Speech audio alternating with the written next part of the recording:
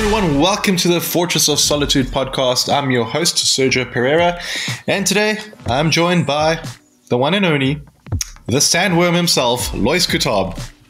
Hello, hello. Well, I'm sorry. Did you say the sandworm himself? Yes, you're the sandworm. You're the sandworm from I'll Dune. take it. I'll take it. I'll take it. How's it, everyone? well, you need to make like a weird noise of like you coming up. So like you don't say hello. There's a sandworm say, yeah, that, that sounds about right. That sounds about right. yeah, man, it's like uh, we got to watch Dune last night, and Dude. wow. Yeah, I'm like, I've been looking forward to it. Like, I'll be honest, it's one of those movies where it just looked really, really cool, Yeah. and um, I was, I was super psyched to see it. But at the same time, you know, you kind of try and like manage your expectations. Mm. But yeah. I was I was neither here nor there because I, I I knew nothing about it. I didn't even watch a full trailer. Like I, I just knew it looked kind of cool, and I saw that the cast was you know I mean until I got to the cinema and I saw the poster, I didn't even know that Zendaya was in it. like I knew nothing about this film. So going in, it was great because it was a clean slate. Like anything could have happened. Yeah. Uh, look, I mean, I- I've been, like I said to you, like last night, I've, I've been reading the, the book for a while. And I mean, granted, I haven't like finished it yet. Um, but like what I read, I was like super excited for. But I, at the same time, I was a little bit worried because it's a little bit like Lord of the Rings in the sense that there are a lot of descriptions, there's a lot of world building that takes place. And you say to yourself, like, can a filmmaker actually do this? You know, is, is it possible to actually like adapt this? And it was one of the things where I was thinking, you know, would Dune probably have been better as like a TV series? Because I'm seeing like Apple's Foundation at the moment, and Yeah. it's like very vast. It's like a lot of world building as well. But I'm thinking to myself, like Foundation. I watched like uh, one episode, I was thinking, yeah, this would not have been able to be a movie at all because Yeah, yeah. of the depth of it. And, and I was thinking maybe Dune is going to be the same thing. But I got to say, I think you know uh, it's, it's a good job. What what the filmmaker's done, Denis Villeneuve has done like a really really good job here because uh, man, it's something else. Yeah, dude, eh, it's it's so ridiculously believable. I mean, uh, it's detailed. It's like, and it's somehow even within you know, it's like you said, it's it's two and a half hours. Yeah, it's a pretty long movie, but it's still Yeah. one film. You know, there's a lot of things that need to get across, and somehow it never feels rushed. I don't know if that's just me. Like, Yeah, there was there was the same thing that I was I was thinking about last night after watching it. I was saying everything like made sense. It felt like it flowed. It wasn't like there wasn't a part of it. I was like, oh, okay, you know, just get to the point. Fast forward here. You know, like everything felt like it had a purpose, and that's why I say like the. The biggest comparison I can draw here is like Lord of the Rings, in the sense that you know it was divided into three films, but you know for the most part you'd be like, "Ah, you know, you're not you're not bored. You know, it, Yeah. it, it, it serves a purpose there, and I think that that's what Dune does really well as well. Like it's mm. obviously, you know, they've picked up exactly where you, know, you need to split the book, you know, in half. You know, it literally is like mm. the halfway point in the book. But they've realized, okay, cool, this is how we can tell a full story here. You know, obviously with the right emotional beats, you know, you need to have something that you know makes sense. It needs to be some uh, stakes at place, right? Because that's Right. always the thing. And you obviously think yourself with a book, you're like, okay, cool. But when you reach a halfway point in a book, that's only halfway the story. Like a lot of things are not resolved. There's a lot of emotional beats that are like still like lingering. But I think they did it quite well. And I was doing some research as well this morning. And apparently, like they've also like tweaked it a little bit. Like they've brought in some stuff from the second part of the book, just so you can have that feeling of resolution as well. ah, okay, yeah, just So, so, yeah. it feels like it's at least semi tied up. You know, it still needs to feel like a complete film, not half a film. Yeah, but it, it makes sense because that's that's what I was saying. Like, if you just cut it off at the halfway point, it's going to feel very disjointed, and it's going to feel like um, like kind of like some of these like superhero movies at times where it's like you know you know there's two parts, but like they cut it off like right in the middle, and everyone like starts complaining, man, this sucks. You know, I don't get. dinner watch second half, like, oh, Yeah. okay, cool, it makes sense now. And I think that that's what they did quite well. Is like they, they just treated it as like one film. Okay, this can tell one story. And obviously, you know that there's a sequel because I mean, it pretty much it when the, you know the whole part Yeah, one it, sign is a, it a big starts tell. off. Yeah, it starts Yeah. off part one. So that's a cool. What, what I'm really happy that they did, though, to be honest with you, is that they didn't market that market it in the sense that this is only part one or part two. yeah, That- I that didn't know that well. until walking in. Yeah, look, I knew that it was divided into two movies because recently one of the screenwriters said that it's like, oh no, we had to divide it because it's, it's it's too much, and I agree, like Yeah. completely. But I just find it fascinating how that wasn't marketed that way. They just say Dune. They don't say anything else. they don't Yes, say like, yeah. okay, Dune part. I also one. found that really interesting. I guess maybe what they're gonna probably do is title the second movie differently, like so, like Yeah. almost like treat it as like the sequel versus a Yeah. case of like it's just part two of the part one story. But look, I think it, it obviously worked because a lot of people didn't seem to know that either. So you know they're going in there a little bit blind. They're like, okay, cool, surprise, you know, there's part two's coming, you know, sort of thing. Yeah. Before you know it, Dune 2, Electric Boogaloo. wow, okay. It's gonna it's gonna be ready. The Return of the Sandworm. or Two Sandworm, Too Furious. Yeah, something like that. Can Seven, do Furious. yeah, that thing freaked yeah. me out, dude. Yeah, that was the thing, man. The sandworms, like, I, remember like telling you last night as well that I had this whole thing when I was small. Like, I was terrified of sandworms. Like, you know, some of the images you'd see in like these sci-fi magazines and stuff, because it just looks so menacing and also like really cool at the same time. And the way that the, the design and stuff, the way it was done here, oh man, it was something else. Yeah. That was like one of my favorite parts of the movie was just seeing the sandworms. See, that is why I called you the sandworm because you're like one of my favorite people. So there you go. Oh, Thank you. Appreciate it. Yeah, look, the, the, the everything that was done, and and you know, this is why I you know I put out a tweet saying that if you can and if you're able to and if you're comfortable, please like do yourself a favor, watch this movie in IMAX because like it really it really like brings out the most that it has to deliver. You feel like the impact of everything, you know, Yeah. the scale of things like the sandworms and, and whatever else, like the the the ships and everything that's happening is just so grand and big, and it's like it, it packs a punch. It's awesome. No, it definitely does, and I think also, um, like the sound was just was something else. It was incredible. Like the Yeah. sound with those visuals, it was just like it was huge.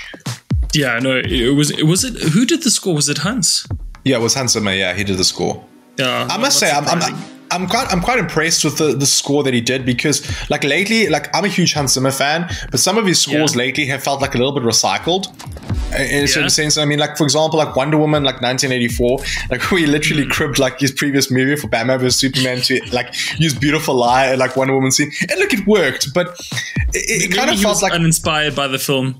I, I don't know, dude. Like the thing is, like he's done he's done a few scores lately that I, I don't think have been his best work. Like I mean, he's a legend. Okay. I mean, I think he's probably like next to John Williams, one of the most iconic, you know, composers, like film composers out there.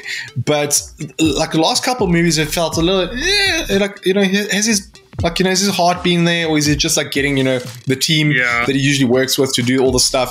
But I must say, Dune sounded really cool. It sounded like fresh, and especially like the Middle Eastern sort of influences as well. Because I mean, obviously we know Yeah. Dune has got like a sort of Middle Eastern influence in it, and it was really great. I mean, the way they brought in like the different elements, and even the Scottish element, you you picked that up as well with the House Yeah, of yeah, Atreides, yeah. didn't you? Like with the Yeah, I- I bagpipes. did, it's I did. Oh, dude, that was so cool. I was like, that was like one of the most awesome things as well. Like I just love that. It was it was so well done. Yeah, it's a really But I- I need- mix up of culture. But I need to ask you something because Yeah. this is one of my biggest fears going into Dune.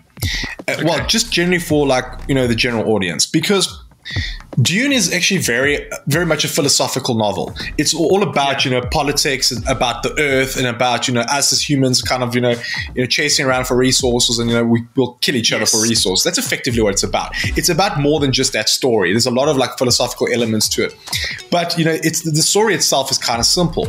You know, just Yeah. obviously you know the chosen one is like uh, you know it's Neo Neo in a desert, you know, sort of thing Yeah, yeah, yeah. but the, the whole aspect of, of, of Dune, like with all of those lessons, philosophical stuff, it can feel a little bit overpowering to somebody who's coming into it fresh.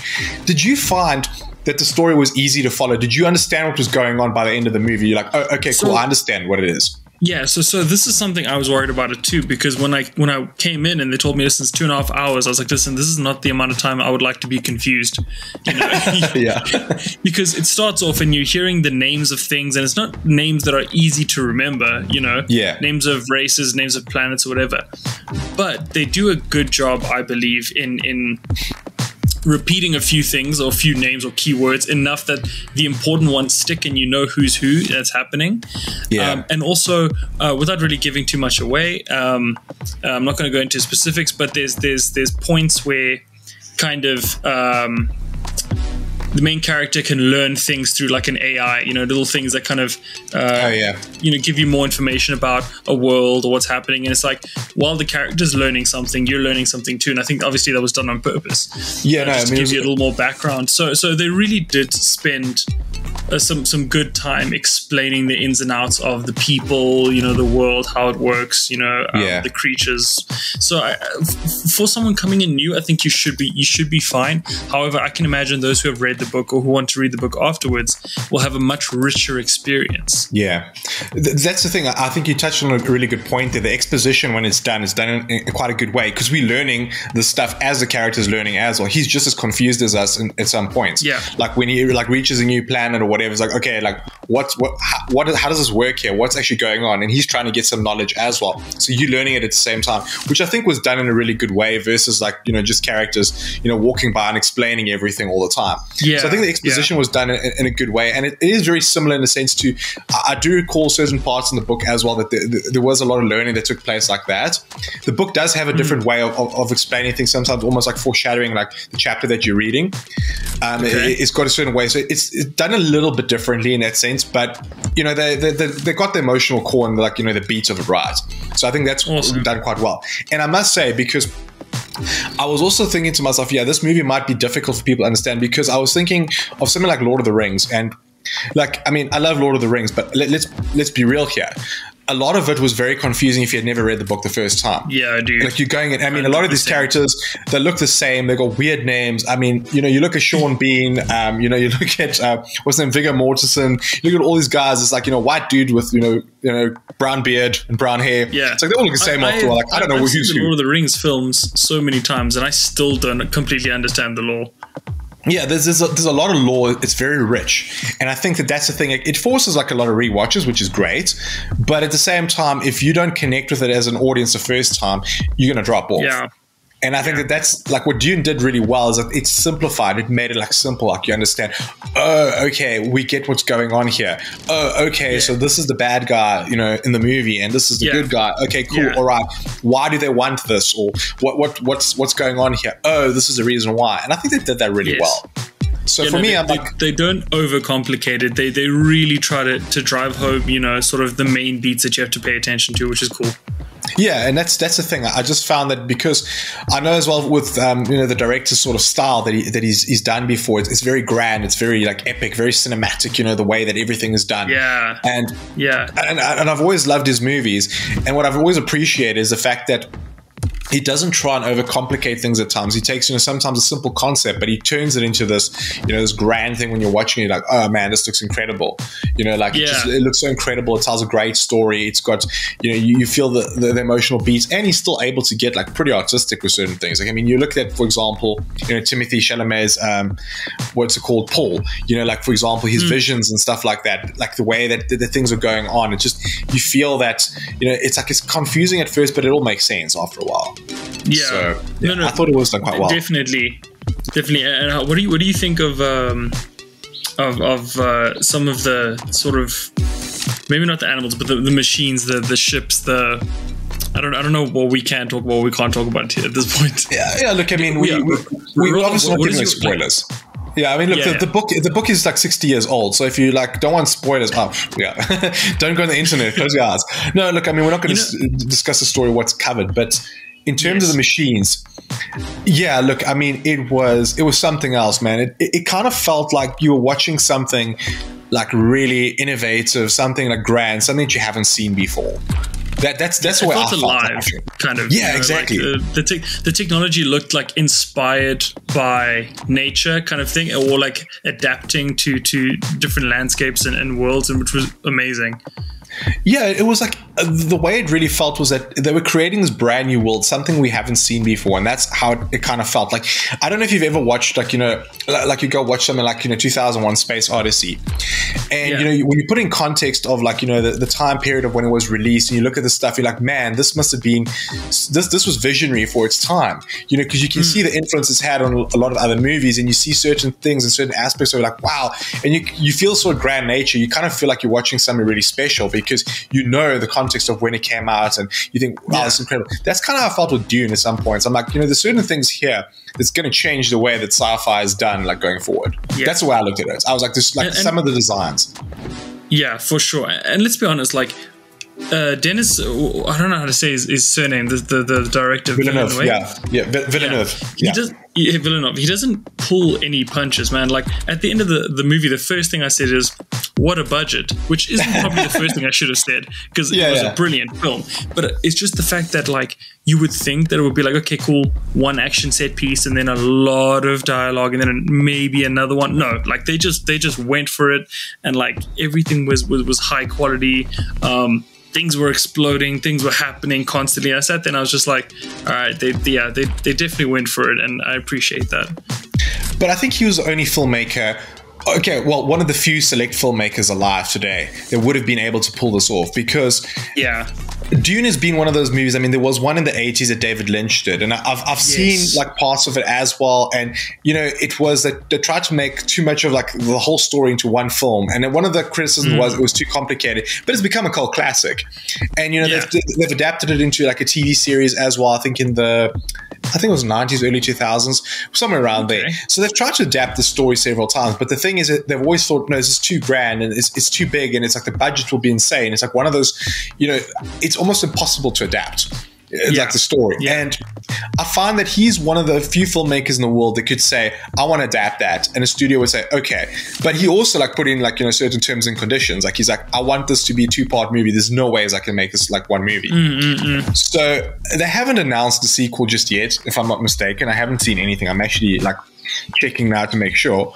And because I haven't seen anything, oh no, that the second one's coming out or anything like that. Yeah. But I'm pretty certain they're probably thinking, okay, cool. Well, what we're going to do is we're just going to decide like how, how it works. Okay, possible sequels. Yes, it hasn't been officially greenlit just yet. Yeah, So- I can imagine that they've maybe shot some sequences or some scenes that they, you know, that they might use and or will use in the sequel. You know, in terms of just visions Yeah. and stuff like that. You know, I assume some of that's already kind of existing. Actually, surprisingly enough, this budget wasn't that insane. It's, What? it's quoted that the budget was 165 million dollars. But You would think it was higher. Dude, I was thinking 300, like easily 300 million dollars. You think about like Wow. Avengers, Avengers Endgame and Avengers Infinity War. That was, I think, a combined total of about 400 to 500 million dollars. But look, they filmed it back to back, sort of thing, and you know they used a lot of it. But that was the budget for that. But this one is only 165 million dollars, which actually is not that bad. You know, like in, in blockbuster terms. I mean, obviously for us, For, that's for what you're for what you're seeing on screen, you'll think it's Yeah. not that bad. And it hasn't been released yet in the states. So it's obviously only been released in certain markets i mean it's only officially going to be released in south africa like next week anyways. So it's it's come out in a couple markets. I know it was released in the ukraine. So it's been released in some international markets. It's made already 117 million dollars which isn't bad. And obviously when it comes out in the us i am a little bit worried though about because the us market dictates a lot of what happens in terms of the Yeah. future and it is being released on hbo max the same day Yes. and that that's the thing that i'm worried about It's a day bef- it's in fact in fact apparently it's a day before the theatrical release, like a few hours before, like at 6 p.m. the day before theatrical release, it'll come out on HBO Max. So Oh, I, th- I think it could be something to do with. Uh, I'm trying to see if it says anything what, what it says here about the, the release. Uh, I, know, I read release- that this morning. Was it this morning? You- you read it? Okay, cool. Yeah, Yeah. It's, but basically, the point is this: is that it's going to be a little bit difficult to see what what happens in terms of like how you justified moving forward because I know obviously HBO Max is going all out to try to get subscribers, and it's fine. But we saw what happened with the Suicide Squad. It was a great critical reception. Um, it, it got released worldwide. The worldwide haul is not bad, but in the US, it really didn't do like magic magic numbers. And on, on the other hand, you look at, for example, something like Venom, you know, Let There Be Carnage. Internationally, it's been pulling in like really impressive numbers that they've already said, oh, yeah, the, th- the third movie is like happening because Yeah. you can't watch it anywhere else. Yeah, I mean, Yeah. obviously, you know, these pirates they they get cam versions, but who who's about that life anyways? You know, we we're living in 4K now, guys. You know? sailing the seas. yeah, it's like it's not it's not cool. You know what they're doing anyways. Like no like no one wants to watch that anyways. So everyone wants to watch. But if you give people an option to like watch it digitally at home versus a cinema, Yeah. even though like as you said, I do believe Dune should be watched on the big screen. You know, Yeah. it is one of those movies that's worthwhile going out. I'm just worried it's going to impact what the future of, of uh, the franchise will be. I mean, we know there's a TV series coming out to HBO Max. They've already greenlit that, um, which is mm. fine, but that's going to be based on you know certain subset of characters versus you know th- these current characters. But yes. let's just say, argument's sake, that it, it flops. You know, next week when yeah. it releases, it doesn't do so well. That means like you know, Dune Two is effectively like is just dead in the water, and I would be yeah. pretty sad about that. I don't know. What do you think? You know You, well, the thing is, I, I would think, optimist me would think that if it doesn't do terribly well, um, and it's it's directly linked to the fact that they've now um, released it on HBO and cinema at the same uh, and theatrical release at the same time. That they would still go ahead with the sequel, but then not do um, a dual release next time, and maybe leave a bit of a gap, a few weeks between the two. Well, look, I mean, this HBO Max strategy is only for this year. It's, it's ending at the end of this year. And I really like a lot of okay. executives have said it, it might have not been the wisest idea. I think for obviously yeah. in the middle of a pandemic, you know, especially like in the early stages, it was great. Yeah. Because, it's you know, fair. you didn't, uh, yeah, it, it, was fair. But I think also for the rest of the world, there was also a little bit of a FU, to be honest. Like, I think yeah. from like, especially Warner Brothers, because look at, uh, look at something like Mortal Kombat that got released in, I think it was April, if I'm not mistaken. Mm-hmm. Okay, we got it earlier than international international audiences, but they got the option to watch it on HBO Max or in theaters. But yeah. as the rest, the rest of the world, like you had to go to the theaters if you want to watch it. Look at what happened with the likes of Black Widow, where we were under lockdown, the cinemas were closed, and we only yeah. got Black Widow like a month afterwards like the strategy has just been a little bit messed up. Like I think with the streaming services because they're not taking into consideration the rest of the world. It's like okay, well, America just matters and that's it. And that I think is yeah. like yes, okay, we know the US box office is, is, pretty big, but sometimes a global box office, as we've seen with the likes of Fast and the Furious movies, yeah. like those ones are like pulled by your global box office. Like that's what gets you over a billion dollars. Yeah, you so, you're hurting your own bottom line by not putting in the effort for other markets. Yeah, just just start considering the other markets a little bit more. That's that's the ultimate point. So obviously for us, you know, we can only go watch it at the cinema. So, you know, you brave it, you know, you, will go out yeah. if you really want to go watch it. Overseas, you got an option. And, you know, let's just say, you know, argument's sake, we kind of think stuff, well, you know, the pandemic's still not over. Like, I'd rather just watch mm-hmm. an HBO Max and go out. It's like, okay, cool, but what is the viewership going to be like? I mean, what what are the measures that are put in place? I mean, no one knows. I mean, I think we had this discussion yeah. the other day about like even like Netflix shows, like like Squid Game or whatever. Netflix like, oh, this is the most watched ever. Like, okay, but what does it mean? Does it mean that yeah, like what, what, what constitutes a view? Like yeah well, how many people just watched a minute of it? Uh, how many people watched it all the way through to the end? How do you deem it as a success? And i think all these measures have been a little bit like you know behind the scenes so no one really yeah. knows and just because I, marketing I would, assume, I would assume like for the sake of marketing you would like write the stats in the best way and then the stats that you have of who actually completed the series would make you decide if you actually want to make a sequel or not. Because I mean, there was that show. What was it when we were discussing that as well with the teenagers and the parents just oh, disappear? Society, the society, yeah, society, and that was brilliant. And I don't know why they cancelled it. It didn't do poorly, um, but I assume there was something. I don't. I don't know. Yeah, it's just it's a very weird measure, and I think that that's also the problem with HBO Max. I mean, we've seen the whole thing with you know Zack Snyder's Justice League, where yeah. they basically said HBO Max, oh, it didn't do so well, but then they're not really releasing the, the figures. Then when you look worldwide, like especially on like Google Play and stuff, it's smashed it. It's still smashing it mm-hmm. know, to this mm-hmm. day. So you're like, okay, that movie was a success. So why is like HBO, well, well, not HBO, why isn't Warner Brothers like you know saying, okay, cool, let's just do a couple things in that universe for you know streaming, direct to streaming or something. So this is very yeah. weird, like sort of measures. And I think with with Dune, it'll just be interesting to see because I know the director he's pissed about it. He's not he's not happy about the fact that it's going to streaming. No, well. like, he, he mentioned like he was PC about it by saying basically like, oh, it's it's weird. Like it's a weird thing. It's just a weird way to go about it. yeah, and I mean, look, realistically, we would love to see the movie do well. You want to see stuff greenlit, especially if you're enjoying stuff, and you know, it, it needs to do well financially. That's a, that's a reality of the world we live we live in nowadays.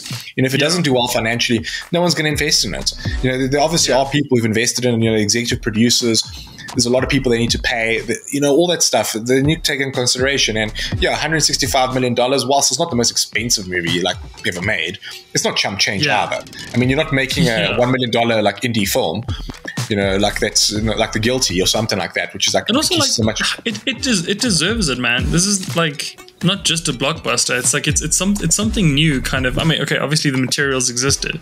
Yeah. But for a lot of people, it's gonna be something new and something. It's, it's gonna feel fresh, even though yes, it's a sci-fi movie.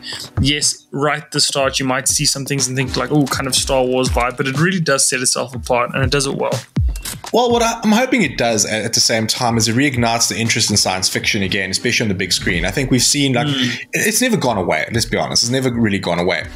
But it would be nice to see, like, especially like there's there's a whole rich history of like sci-fi books, and you know that that can be adapted into TV series, into yeah, into movies and stuff like that. And it would be nice to see you know, like Hollywood have confidence in the genre again and kind of, you know, yeah. dive back in because we, we see certain things, you know, that they keep repeating certain like tried and tested formulas like, okay, the sci-fi horror is always like you know a popular one. Okay, Alien. Yeah. Let's just do another Alien movie. Let's just do another Alien TV show. Let's just do this, whatever. You know, that's always the stuff that they lean towards.